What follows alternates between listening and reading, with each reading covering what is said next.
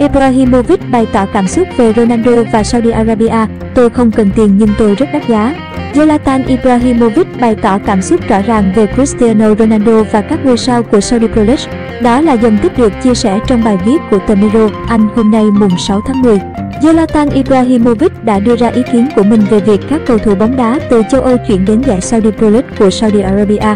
Sau khi cựu danh thủ người Thụy Điển này từ chối lời đề nghị đến châu Á thi đấu, cụ thể là Trung Quốc và Saudi Arabia, Zlatan Ibrahimovic dường như chỉ trích các cầu thủ chuyển đến Saudi Arabia khi anh đặt câu hỏi về động cơ của một số ngôi sao lớn nhất thế giới. Trong đó khởi đầu là Cristiano Ronaldo khi chuyển đến đó. Tuy nhiên, Ibra khẳng định họ không vi phạm phạm trù đạo đức. Neymar, Karim Benzema, Roberto Firmino, Sadio Mane, Riyad Mahrez và Fabinho là một trong những siêu sao tên tuổi đã chuyển đến Saudi Pro League vào mùa hè vừa qua. Sau khi Cristiano Ronaldo nổ phát súng đầu tiên gia nhập Al vào tháng 1, trong khi đó, Steven Gerrard là một trong những huấn luyện viên cấp cao nhất đã chuyển đến Saudi Arabia.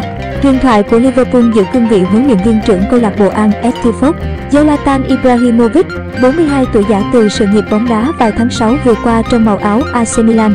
Ibrahimovic tiết lộ mình đã nhận được lời đề nghị từ Saudi Arabia và cả Trung Quốc. Anh từ chối. Sau khi trở lại châu Âu từ LA Galaxy vào năm 2019, Ibrahimovic kết thúc sự nghiệp cầu thủ lừng lẫy của mình tại AC Milan. Ibrahimovic từng có giai đoạn thi đấu cho những câu lạc bộ danh tiếng nhất châu Âu. Ngoài AC Milan còn có Ajax, Barcelona, Inter Milan, Juventus, PSG và Manchester United. Sau khi mắc ca danh tiếng Pierre Morgan hỏi về giải Saudi Pro League, Zlatan Ibrahimovic chia sẻ, tôi cũng nhận được một lời đề nghị từ Trung Quốc, tôi cũng có một lời đề nghị từ Saudi Arabia, nhưng tình hình là, bạn muốn gì? Bạn có mục tiêu gì? Tôi đã nói trước khi chúng ta đã bắt đầu, giống như một số cầu thủ nhất định cần kết thúc sự nghiệp của họ trên sân khấu lớn, vì đó là đỉnh cao trong sự nghiệp của bạn. Bạn phải được nhớ đến vì tài năng của mình chứ không phải vì những gì bạn kiếm được. Bởi vì nếu bạn được nhớ đến theo cách ngược lại thì điều chúng ta đang rèn luyện hàng ngày, điều chúng ta đang được công nhận, chính là tài năng của chúng ta và đó là điều bạn muốn được mọi người ghi nhớ. Vì vậy, tôi nghĩ rằng một số cầu thủ đạt đến một trình độ nhất định, họ phải dừng lại ở một giai đoạn nhất định và đó là giai đoạn lớn. Bạn không thể xuống một giai đoạn thấp hơn và kết thúc sự nghiệp của mình theo một cách khác. Nhưng một số cầu thủ cần những tình huống mà ở đó bạn có thể kiếm được rất nhiều tiền vì họ không kiếm đủ tiền. Khi được hỏi liệu mình có gặp vấn đề về đạo đức khi chơi ở Saudi Arabia hay không, Ibrahimovic nói không, trước khi khẳng định anh không cần tiền. Anh là một cầu thủ rất đắt giá và rất có giá trị. Ibrahimovic nói thêm, không, hoàn toàn không, bây giờ bạn đang gặp phải một tình huống.